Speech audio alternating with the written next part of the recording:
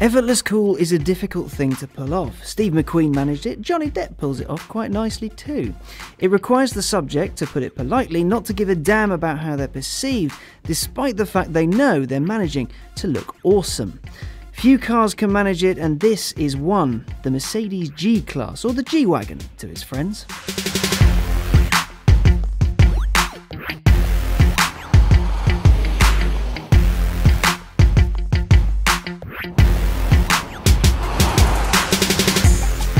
The Mercedes Geländewagen or cross-country vehicle has been on the road since the late 70s and while it's been there it's seen decades of automotive design go by and thought nah I look good as it is and then just carried on with its day. The G came to be in the early 70s when Mercedes began its development looking for a comfortable, safe, capable vehicle to take people across any terrain the Earth could throw at it. The new model would not merely look like an off road vehicle, it was tested in the Arctic Circle and the Sahara Desert. In 1979, production of the G began. There were two versions, a civilian version and a military version, and also it was licensed off to other companies, so technically you can have a Peugeot one of these in some bits of Africa and France. Now, the civilian one came in three flavours, short wheelbase, short wheelbase convertible, and long wheelbase. In 1980, Mercedes presented one of these to the Pope, albeit with a big dome on the back, so this was actually the Pope Mobile, and that's pretty cool. By 1986, over 50,000 G-Wagons had rolled out of the custom G facility in Graz. Now this is where it's worth mentioning that every single G-Wagon is hand built. And you can sort of tell in a, in a rugged kind of way. I liken it to a birdhouse. It works and the roof keeps the water out, but still, you know it wasn't put together by an efficient machine. Anyway, back to the story. In 1990, the G-Wagon had a massive overhaul. Full-time four-wheel drive was added, as with three locking differentials. Also, it stopped officially being the G-Wagon and became the G-Class to fit in with Merc's naming structure. It also added a V8 to the lineup for the first time. In 2005, a frankly crazy G55 AMG was launched and throughout the noughties the G was nipped, tucked and modernised but still kept its signature shape. 2012 though is when things get a bit mad.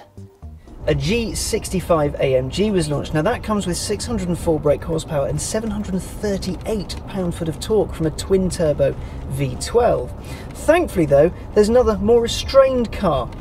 That's the G63 AMG. Now that comes with 537 brake horsepower and 561 pound-foot that comes from a, a far more sensible 5.5 litre twin-turbo V8. Around the same time, a 6x6 six-wheel drive version was announced, and you can get that with the 63 AMG engine in it. Do not to 60 in 7 seconds. It's insane.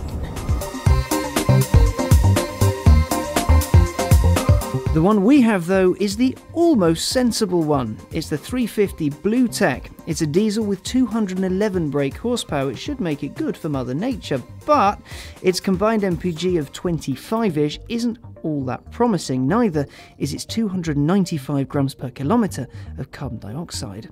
Now, if those numbers worried you, then these ones certainly will. The base price for this car is a fiver over £83,000, and the one we're in, with all its toys, is pushing a 100 grand. A driver's car? This ain't. It's not all that brisk. Not to 62 miles an hour, it takes 9.1 seconds, so it'll trouble a Mini Cooper off the lights, but that's about it. Its top speed is 108 miles an hour, which isn't very fast at all. Now it handles well enough, you know, it's nice and perky around town on the open road, but it's not that great at cornering. But you have to remember this is a car designed for crossing deserts, not for the corners at Silverstone. Now, we haven't had the chance to take it off-road, but I do have a couple of bits of anecdotal evidence as to its off-road pretensions. The first is a rather lovely story. It's the story of a chap named Günther Holtorf. In 1989, he set off with his wife on an 18 month tour of Africa in his G Wagon. He's still going. His wife passed away en route, but Gunther and Otto, his G, have covered 500,000 miles and visited 200 countries and not reported a single major breakdown. That's quite impressive. The other story, though, well, that's not quite as promising. You see, in 2011 there was a press trip to Australia. Seven G-Wagons were to tackle the Canning Stock Trail.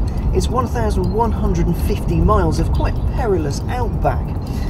Now, six of the G-Wagons on the trip knackered their shock absorbers, and the only one that didn't was a military spec vehicle. Say what you will about its drive, it still causes a stir. This is a car that was designed for crossing deserts, but now it crosses boundaries. Its look, its presence, and its style still has people watching it, waiting for it, taking pictures of it, and it still has a massive fan base as well. And that's more than enough to justify its continued existence.